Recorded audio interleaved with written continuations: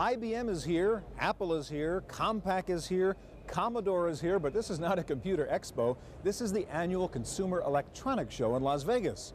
But guess what? It's a computer show anyhow, as entertainment electronics look more and more like computers, and computers look more and more like multimedia entertainment platforms. Today, we'll show you the neatest new gadgets at the Consumer Electronics Show on the special edition of the Computer Chronicles.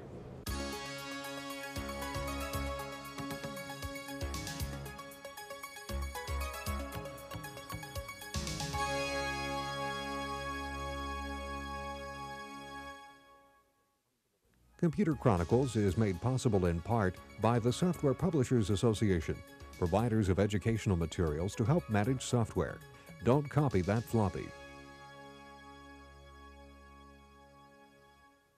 Welcome to the Computer Chronicles. I'm Stewart Cheifet, and with me this week is Tim Bajarin, President of Creative Strategies. Hi. Tim, what I'm playing with here is this new digital book system from Franklin Electronics. Uh, it's kind of fun. They say, by the way, this is the world's first real personal digital assistant because it's actually out there and it's a product and you can buy it. Uh, it has a blank book in there in which you can write notes, a kind of notepad, but it also has other books. As you can see, I can go to uh, a book full of word games, which is kind of fun. I have a very powerful 270,000 word dictionary and thesaurus in there. There are lots of other books you can buy. The way this works, you buy these little ROM cards. Each one of these things has 45 megabytes in it. So between the two ROM cards, I've got 90 megs of information, and I can read it and access it in a very simple user interface. A good example, I think, of computer technology applied to a consumer electronics product. Uh, the fact is, I would think it's good for the consumer that this computer technology and consumer electronics business is merging. Yeah, it's quite exciting for the consumer in general because all of a sudden now they're going to have access to a lot of digital information that can be at their fingertips through all of these little devices that are very inexpensive. So you don't have to be a hacker and you can still get the benefits. That's right. And it gives them a lot of choices of how they get this information and what they do with it. The other thing is exciting about this is we finally got these devices or these digital devices in appliance type metaphors. Of more user friendly. Absolutely. Very easy to use, real cheap, and again, expands the way that they're going to be able Uh-huh. to deal with all this digital information. Okay, today we will look at a variety of computer-based consumer electronics products, including the latest electronic games, the growing use of CD-ROM media, and the merging of notebook computers and palm-top organizers. To start our show, let's go back to Las Vegas and a look at one of the hottest new product categories, the personal digital assistant.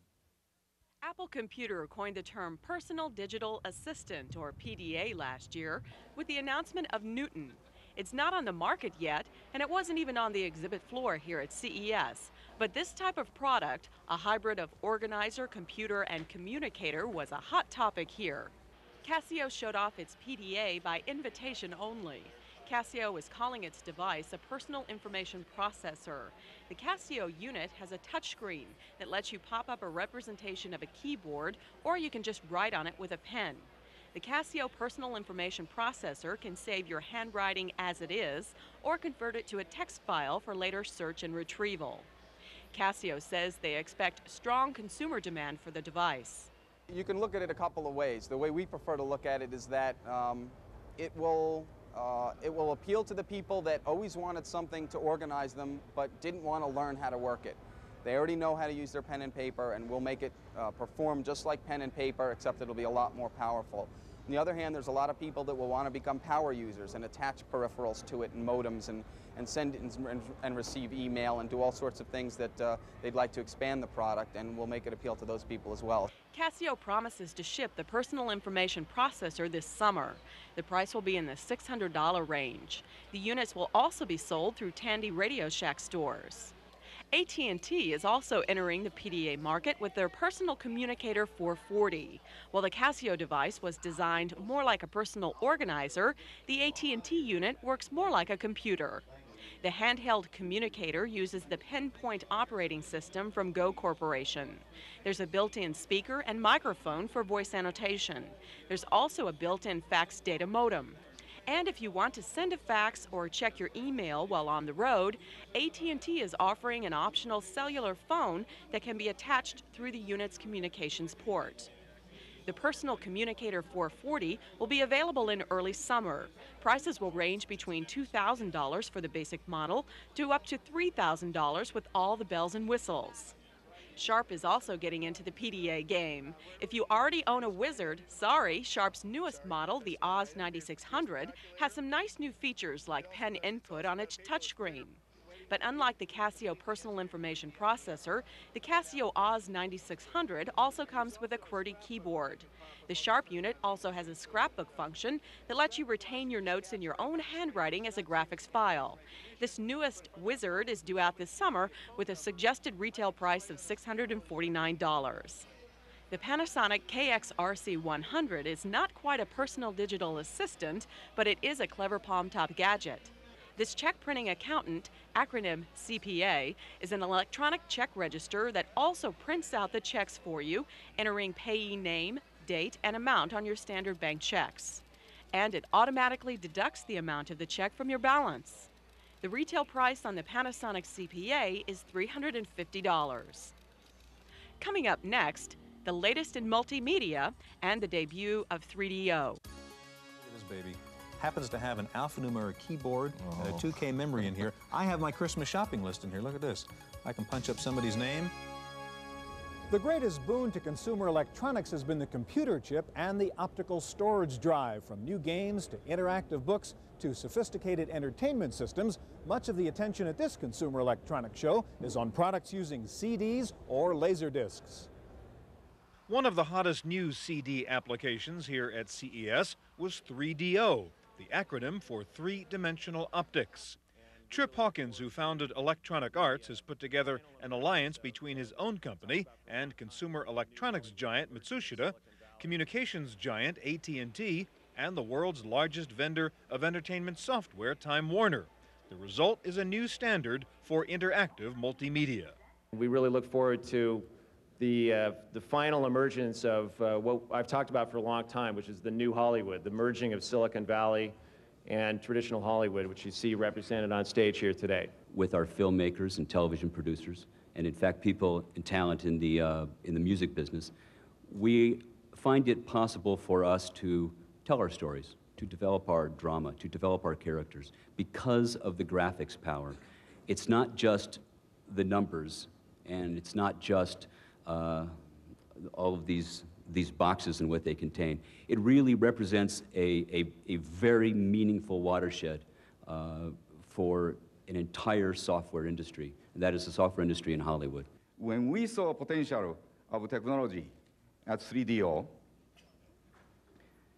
we are very encouraged to make a significant investment in 3DO. 3DO can process images 50 times faster than a PC or a video game console, thanks to custom animation processors which run in parallel. The system can process up to 64 million pixels per second. In addition to the graphics chips, the 3DO system also includes a custom digital processor for audio, a specialized video processor, and a 32-bit RISC processor for program control. The system also uses a double-speed CD-ROM drive for fast access. The net result is a lot of computing power that gives you smoother images, cleaner scaling, and texture mapping. 3DO calls it cinematic software. You'll see a new kind of interactivity. For example, um, there, will be movies that are done as a linear stream just like they are now. It's a storyline that is, has a set beginning and a set end. But now you'll have, you'll begin to see what are called interactive pictures. These are stories where the storyline can change or the, the, the, the perspective on how you uh, view that particular story can change. And it'll be a new form of media. Just like in the beginning of motion picture, all they were doing was filming a stage play. It wasn't until later they began to understand how to use the medium of film. This is a new medium, and it'll take a couple years before people really understand how to use a new medium like this. More than 80 software companies have already agreed to publish CD programs that take advantage of the new technology. 3DO plans to charge them a royalty of $3 per disc. The system itself, which consists of the chipset plus the cinematic software tools, is being licensed at no cost to any hardware manufacturer. The first 3DO platform is due out this fall from Panasonic.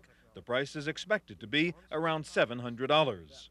It's a product that's going to be in the, the main room of the house uh, where in the past you had a home office and then you had the other games in the, in the children's room. This will move into the family room and uh, everybody will participate.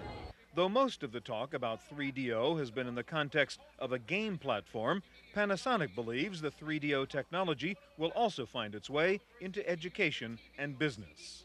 Eventually, that definitely with the educational capabilities and with the fine quality of the performance, with the graphics, the, the, the power in the unit, and the, the fast, react, fast interactive is a natural for school systems or teaching or education training, even business training. Uh, visualizes programs that uh, you can have uh, sales training on a machine, on, on hands-on. 3DO wasn't the only company introducing a new CD-ROM based interactive technology. Pioneer, in cooperation with Sega and NEC, introduced their new system called Laser Active. The system includes a combination video disc and compact disc player and three optional control packs to manage this multi-platform interactive system. The Pioneer Laser Active dumps the video onto the laser disc and thus keeps all 540 megs of storage on the CD-ROM for the interactive application controller. Laser Active will offer interactive games, educational programs, and electronic publishing systems. Laser Active is due out this summer. No information yet on price. There were other major high-tech alliances at this CES. IBM teamed up with the Discovery Channel to develop a new interactive learning program called Planet Earth, The Force Within, based on documentaries from the Discovery Channel. Like the Grand Canyon a revealing geological laboratory.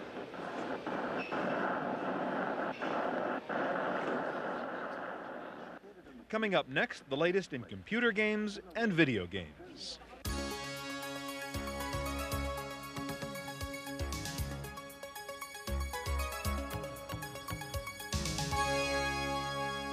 Computer games may not seem the most important part of the high-tech industry, but because of the never-ending technology demands of game hardware and software, computer games in fact are leading the way in this inevitable merger of consumer electronics and computers.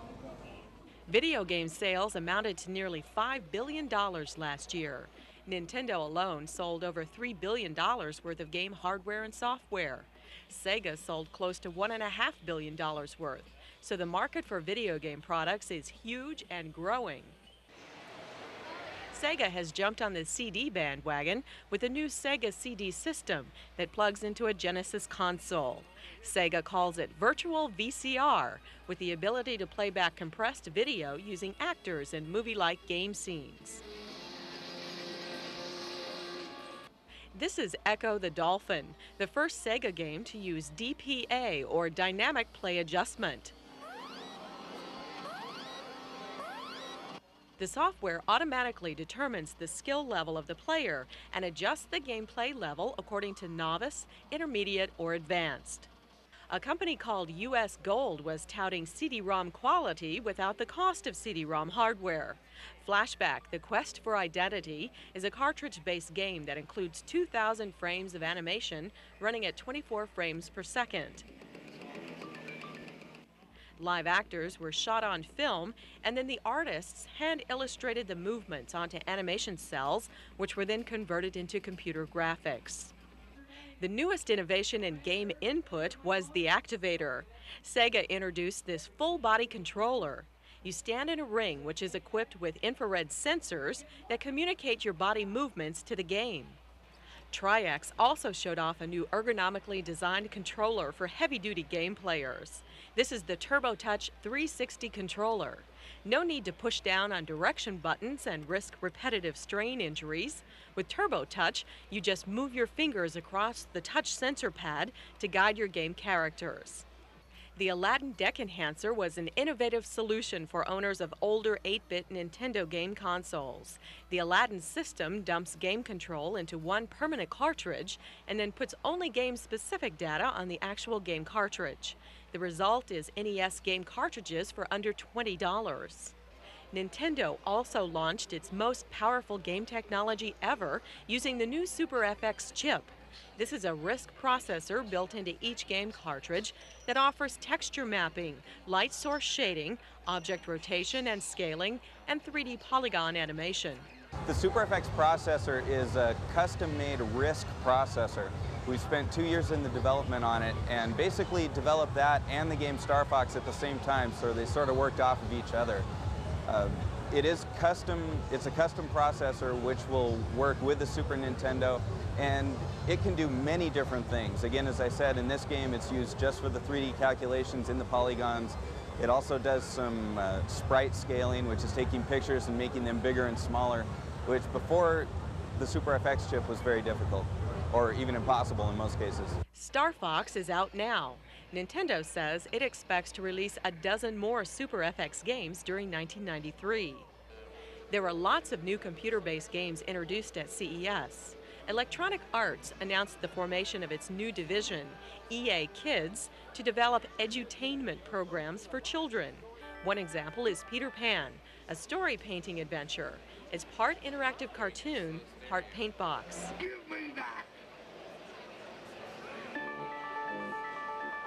Video Jam is another new title from EA Kids that lets children create and play animations set to music.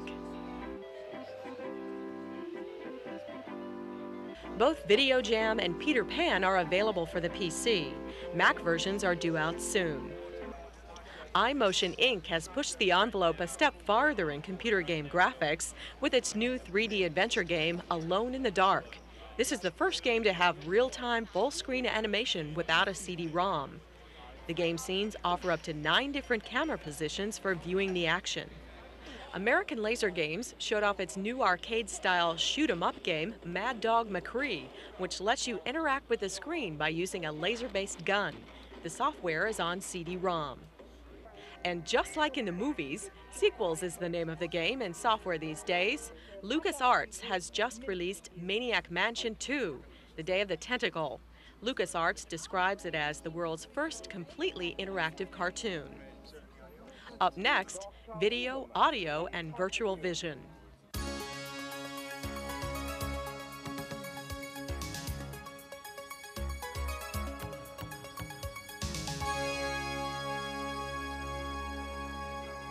Despite all the computer goodies at this Consumer Electronics Show, there were lots of good old fashioned consumer electronics products on exhibit here. Noisy stereos for your car or van, telephones in every shape imaginable, and television sets for your car. New high tech camcorders were hot items at CES. This is the Panasonic IQ VHS camcorder that has Steadicam capability built in. Sharp was guessing that amateur video buffs were getting tired of squinting at those tiny black and white viewfinders. Their new Hi8 camcorder, the ViewCam, features a 4 inch color display that you hold in front of you. The ViewCam doubles as a playback monitor and features an anti glare screen that even works outdoors in the sun. In the audio section, the hot item was the new mini disc player, miniature sized audio CDs that can play back and record. Sony says they're combining the convenience of a cassette deck with the quality of a CD. Why not develop a new music format that has the benefits of both the cassette and the CD? It has the compact size of the cassette. It's also shock resistant for music on the go, just like the cassette is. And best of all, it has both pre-recorded as well as recording capability. But like the CD, it's an optical disc as well as having instant random access. The new mini disc players offer virtual no skip shock resistance because of an LSI chip that stores up to 10 seconds of read ahead music. So even if the deck skips, it gets corrected before you actually hear that portion of the music. The mini optical disc is only two and a half inches in diameter, but holds the same amount of music as a standard size CD, up to 74 minutes. And the new mini disc technology has applications beyond just audio. Minidisc will also grow in the future to become what we like to call more multimedia oriented. There is room already on the Minidisc for text mode displays. You can see the lyrics and even the titles of certain selections and recordings. And in the future, we even have the capability of using it for computer peripheral use. You can store well over 130 megabytes worth of information for data applications. It won't be cheap to be the first kid on the block with a mini disc. The playback only models from Sony and Sanyo start at around $500. The record model will be about 700. The saga of the video phone continued at CES. AT&T was again showing off the high-tech phone that lets you hear and see the person at the other end. AT&T says the video phones are growing in popularity and are now available in over 1,000 retail outlets. And what is virtual vision? It's essentially a TV set you wear on your head. These glasses weigh only 5 ounces, but they give you the experience of watching a widescreen TV. The unit is called the Virtual Vision Sport. The complete system includes the glasses and a belt pack that contains the TV tuner, battery, and an interface for taking output from a VCR. You can also plug a camcorder or a cable TV hookup into the Virtual Vision Sport. The system uses surface mount electronics and a special optical focusing system, so it seems like you're watching a 5 foot wide screen that is 15 feet in front of you. The Virtual Vision company says they're working on new versions of the device that can be used as displays for computers and video games. Up next, IBM at CES.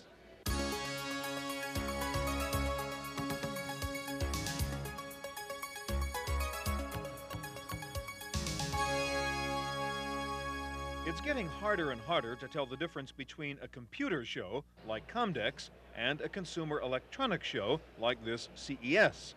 Indeed, the keynote speaker at CES was the president of a computer company, IBM. Jack Kuehler said the merger between the computer industry and the consumer electronics industry has already happened. In the eyes of the consumer, we're not separate industries anymore.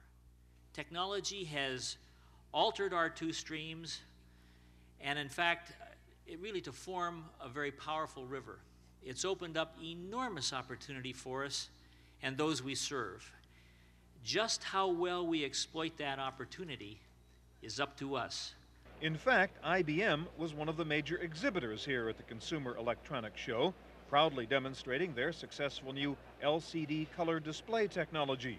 IBM teamed up with Toshiba to develop this flat screen display, a 16-inch color panel using thin film transfer technology that can display 3D graphics. It's the industry's largest color LCD display. The screen has 100 million transistors. Its density and graphics quality are 400% better than anything seen before in a flat panel this size.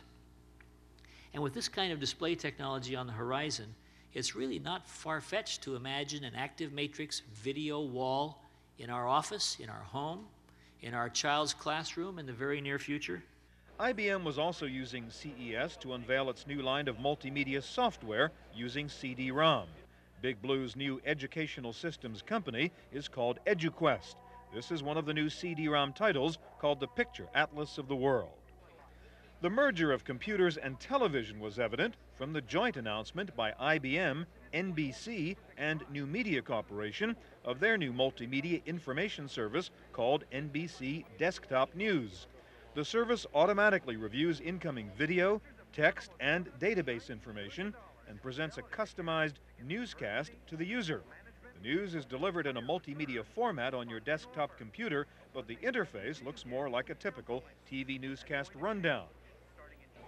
IBM was also bragging about its ecological credentials. This is the so-called Green Machine, a PS2 computer with a small footprint that's made completely out of recyclable materials. It has no internal fans and it consumes only 55 watts of power, less than a typical light bulb and one-fourth the energy required by a standard PC.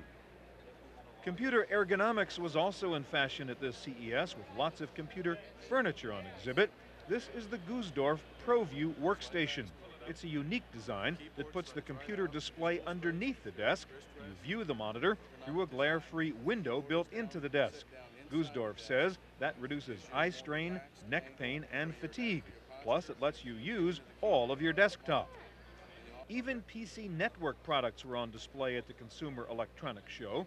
This is SwiftLAN, a bundle of two portable network adapters and software that lets you instantly create a two-node peer-to-peer network between any pair of PCs.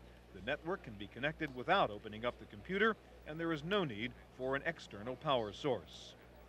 Finally, Telcraft Industries bragged that its new pocket faxer will get into the Guinness Book of World Records as the world's smallest fax machine. It is pocket size and weighs less than six ounces. It is a paperless fax machine. You enter your document by typing on the keyboard and then send the file as a fax through a standard phone line. The pocket faxer also doubles as a portable data terminal and electronic mailbox. The overriding theme at this Consumer Electronics Show was that the merger of computer companies with consumer electronics companies will benefit the end user by combining the power of computer technology with the ease of use of consumer appliances. IBM's Jack Kuehler called it a unique form of trickle down technology. By combining our individual strengths, we have an opportunity together to create a world where entertainment and information is more mobile, more pervasive, more potent, more affordable, and a lot more fun. For the Computer Chronicles, I'm Stewart Cheifet.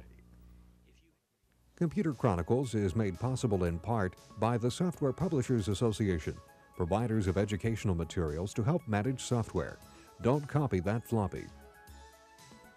Video cassette copies of this program are available. Computer Chronicles also publishes a companion newsletter containing details on products demonstrated plus background information on program topics. To order a video cassette or a subscription to the newsletter, call 1 800 366 9484 or write Computer Chronicles. Please specify program subject for tapes. All orders include a free software program for auditing software use and information on the definitive guide to keeping your organization's software legal.